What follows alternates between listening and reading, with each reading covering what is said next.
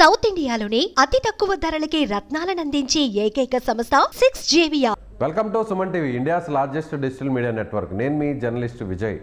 ఉమ్మడి ఖమ్మం జిల్లా అంటే ఇప్పుడు కొత్తగా ఏర్పడినటువంటి కొత్తగూడెం జిల్లాలోని సోంపల్లి గ్రామంలో ఒక్కసారిగా విష జ్వరాలు ముఖ్యంగా అక్కడ డెంగ్యూ జ్వరాలు అక్కడ ఉన్నటువంటి స్థానికులను ఆ, భయభ్రాంతులకు చేస్తున్నాయి. ముఖ్యంగా దాదాపుగా యాభై కుటుంబాలు డెంగ్యూ జ్వరం బారిన పడ్డారు. వీరందరూ కూడా హాస్పిటల్లో చికిత్స పొందుతున్నారు. అందులో ఇద్దరు చనిపోయారు. దాదాపుగా మరికొంతమంది ఇప్పుడు అక్కడ పరిస్థితి విషమంగా మారింది. అసలు ఆ గ్రామం మొత్తం అంతా కూడా డెంగ్యూ పూర్తి స్థాయిలో ప్రబలింది. అయితే అక్కడ కొన్న ఏదైతే క్యాంపులు పెట్టినప్పటికీ కూడా సరైనటువంటి ట్రీట్మెంట్ అందట్లేదని అక్కడ ఉన్నటువంటి గ్రామస్తులు వాపోతున్నారు. దీనిపై అక్కడ ఉన్నటువంటి తాజా సమాచారాన్ని తాజా రిపోర్ట్ని మా ప్రతినిధి ఖమ్మం జిల్లా ఉమ్మడి ఖమ్మం జిల్లా ప్రతినిధి రవికిరణ్ జూమ్ కాల్లో లైవ్ ద్వారా అందించబోతున్నారు. రవికిరణ్ ఏంటి అక్కడ పరిస్థితి? గ్రామంలో ఎప్పటి నుంచి ఈ విధంగా విష జ్వరాలు ప్రబలయ్యాయి? ప్రస్తుతం అక్కడ ఎన్ని కుటుంబాలు దీనివల్ల ఇబ్బంది పడుతున్నారు? అసలు డెంగ్యూ జ్వరాలకు సంబంధించి కూడా అక్కడ ఉన్నటువంటి స్థానిక అధికారులకి దీని మీద ఒక సమాచారం లాంటిది ఏమన్నా ఉందా?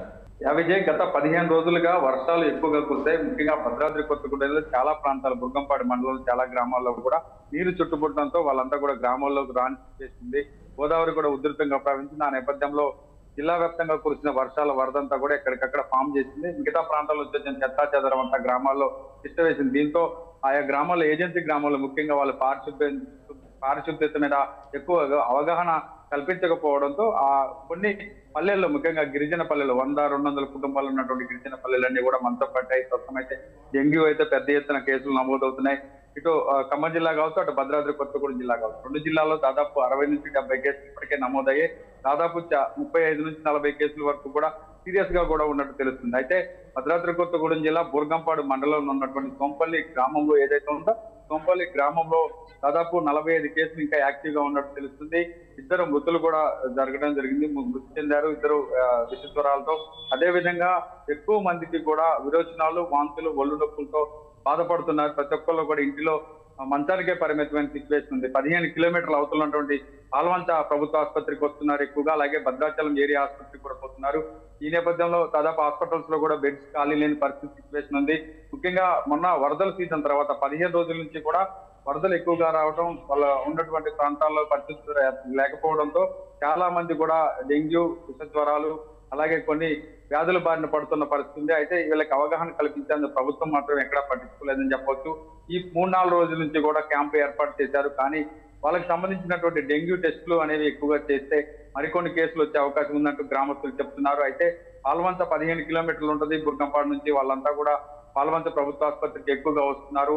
ఈ నేపథ్యంలో అక్కడ బెడ్లు కూడా ఖాళీ లేవు ప్రస్తుతం. వాళ్ళ సిచ్యువేషన్ అయితే చాలా దారుణంగా ఉంది. గిరిజన ప్రాంతం కావడం అలాగే అక్కడ ఉన్నటువంటి పినపాక కాన్స్టిట్యూన్సీ సంబంధించినటువంటి ఎమ్మెల్యే రేఖాకాంతరావు ఎప్పటికప్పుడు పర్యవేక్షిస్తున్నారు. కానీ కొంత గ్రౌండ్ లెవెల్లో వాళ్ళకి కావాల్సిన ఫెసిలిటీస్ సంబంధించినటువంటి వాళ్ళకి ట్రీట్మెంట్ ఇచ్చే అవగాహన కల్పించడం వాళ్ళకి ట్రీట్మెంట్ ఇవ్వడం వాళ్ళకి మెడికల్ కిట్లు సప్లై చేసే విధానం కొంత లేట్ కావడంతో చాలా మంది కూడా ఇంకా బెడ్లకే పరిమితమయ్యారు.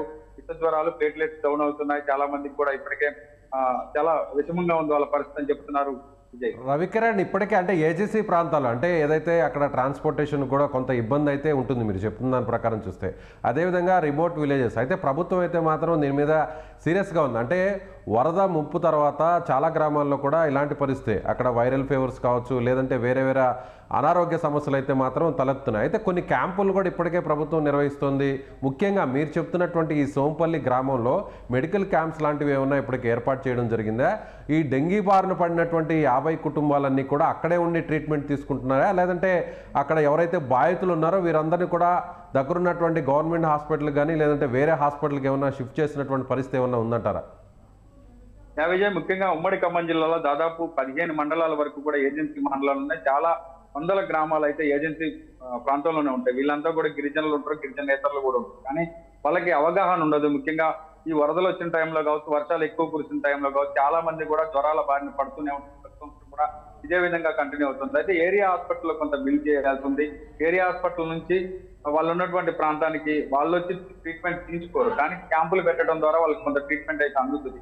ప్రస్తుతం అయితే సోంపల్లి గ్రామంలో అయితే నిన్నటి నుంచి కూడా క్యాంపు పెట్టారు. ఇద్దరు డాక్టర్లు ఎప్పటికప్పుడు కూడా అప్డేట్ చేస్తున్నారు. కానీ కేసులు ఎక్కువగా పెరుగుతున్నాయి. టెస్టులకు సంబంధించి డెంగ్యూ టెస్ట్ అఫీషియల్గా చేయాల్సి ఉంటుంది.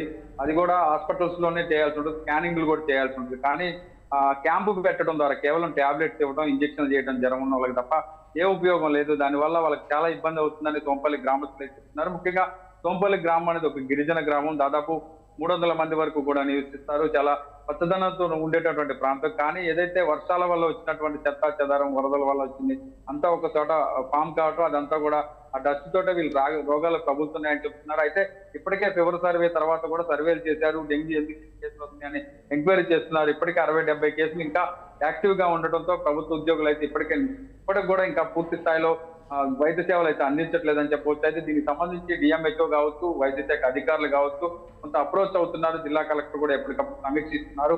ఈ రెండు మూడు రోజుల్లోనే పూర్తి స్థాయిలో దాన్ని సర్వే చేస్తామని చెప్తున్నారు.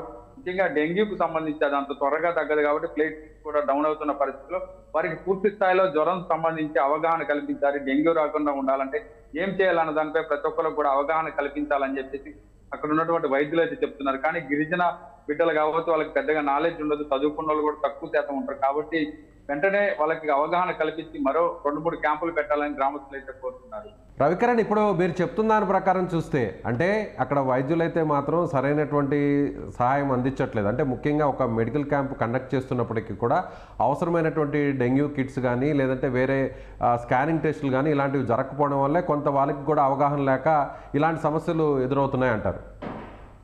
యా విజయ్ ముఖ్యంగా భద్రాద్రి కొత్తగూడెం జిల్లాలో గతంలో కూడా ఏదైతే ఏజెన్సీ గ్రామాలు ఉన్నాయి గ్రామాల్లో కేవలం మెడికల్ క్యాంపులు పెట్టేవాళ్ళు వదిలేసేవాళ్ళు. అది కూడా ఇప్పుడు కూడా అదే జరుగుతుంది. కేవలం సర్వే చేయడం అక్కడ ఎందువల్ల వస్తుందని నిర్ధారించడం తర్వాత వాళ్ళకి డెంగ్యూ టెస్టులు అనేవి అక్కడే చేయాలి అక్కడే చేయడం ద్వారా వాళ్ళకి వెంటనే వైద్య సేవలు కానీ వాళ్ళ హాస్పిటల్కి వచ్చి వాళ్ళు స్కానింగ్లు చేయించుకొని ఆ రిపోర్ట్స్ తీసుకొని మళ్ళా డాక్టర్ని అప్రోచ్ కావడం అనేది చాలా లేట్ అవుతుంది. ముందుగానే గెస్ట్ చేసినట్టయితే డెంగ్యూ కేసులు నివారించే అవకాశం ఉంటుంది. ముఖ్యంగా గ్రామస్తులు పదిహేను ఇరవై కిలోమీటర్లు వెళ్ళి ఏరియా హాస్పిటల్లోనో లేకపోతే సిహెచ్సిలోనో వేరే హాస్పిటల్స్ ట్రీట్మెంట్ తీసుకోవాలంటే చాలా ఇబ్బంది పడుతున్నారు. ఈ లోపులోనే వాళ్ళకు ఉన్నటువంటి ఫీవర్స్ రెండు మూడు రోజులు లేట్ అయినా కొద్దిగా అవి ప్రాణాంతకం అవుతున్నాయి. ఇప్పటికే విష జ్వరాలు ప్రబలడంతో చాలా ఏజెన్సీ గ్రామాల ప్రజలైతే బిక్కు బిక్కుమంటున్న పరి- ప్రతి కుటుంబంలో కూడా ఇద్దరు లేదా ముగ్గురు మంచాలకే పరిమితం ఉంటున్నారు వాళ్ళని చాలా హాస్పిటల్ దాకా తీసుకెళ్తమే పెనుభారంగా మారింది గిరిజన ప్రజలకైతే రైట్ ప్రభుత్వం అయితే మాత్రం దీని మీద సీరియస్గా తీసుకుంది కానీ అక్కడ కొన్ని ఫెసిలిటీస్ అనేది ఏర్పాటు చేసి ఇలాంటి సమస్యలు ఉత్పన్నం కావంటారు. అదేవిధంగా మీరు చెప్పిన దాని ప్రకారం చూస్తే ఇద్దరు ఆల్రెడీ డెంగ్యూ వల్ల చనిపోయారు అంటున్నారు అయితే ఈ ఇద్దరు మృతి చెందినటువంటి విషయం ప్రభుత్వం దృష్టికి కానీ అధికారుల దృష్టికి కానీ ఏమన్నా వెళ్ళిందా? ఆ కుటుంబాలకు ఏదైనా సహాయం లాంటిది ఏదైనా చేసేటువంటి పరిస్థితి ఏదైనా కనిపిస్తుందా? యా విజయ్ ప్రస్తుతం అయితే సొంపల్లి గ్రామంలో కేసులు పెరుగుతున్నాయి డెంగ్యూ కేసులు యాక్టివ్ ఎక్కువ ఉంటున్నాయి. వేరే చాలా ప్రాంతాల నుంచి కూడా కేసులు వస్తున్నా కూడా ముఖ్యంగా సోంపల్లి గ్రామం నుంచే ఎక్కువగా నలభై యాభై కేసులు ఇంకా యాక్టివ్లో ఉన్నాయి. ముప్పై ఐదు కేసుల వరకు కూడా తగ్గాయని చెప్తున్నారు. దానిమే పూర్తి స్థాయిలో నివేదిక కూడా తీసుకునేందుకైతే అధికారులు సన్నద్ధమవరు ఇప్పటికే జిల్లా కలెక్టర్ కూడా ఎప్పటికప్పుడు సమీక్ష నిర్వహిస్తున్నారు. అదే డిఎంహెచ్ఓ కావచ్చు మిగతా వైద్యాధికారులు కావచ్చు ఇప్పటికే ఆ గ్రామాన్ని సందర్శించారు. అక్కడ ఉన్నటువంటి పరిస్థితులు చూశారు.